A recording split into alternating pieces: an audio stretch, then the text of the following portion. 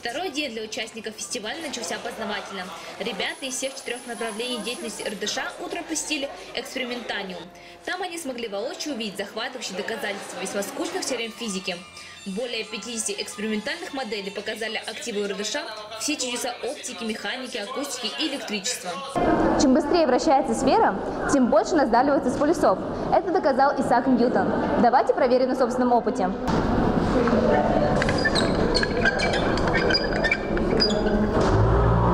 Все активисты внимательно рассматривали экспонаты, и каждый из них выбрал для себя сам познавательный и завораживающий. Никита Бодрев – лидер одной из пилотных площадок РДШ. Ведущий законы физики он знает наизусть, и сегодня ему посчастливилось увидеть 10 теорем на практике. Мне понравился эксперимент «Стоящая волна». Ну, это очень интересно. В школе я выбрал для себя физмат, и все, что связано с физикой, мне очень нравится.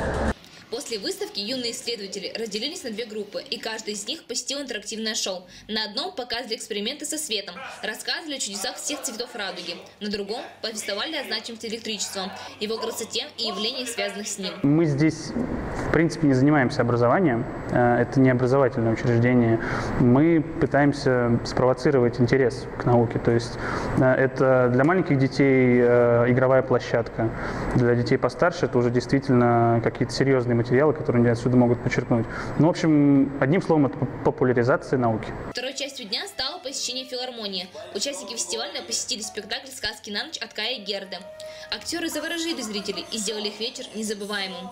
Конечно, выход на сцену – это как новая жизнь. Каждый раз что-то делаешь, получаешь удовольствие, встречаешься со зрителем. Этот день можно назвать эмоциональным пиком фестиваля.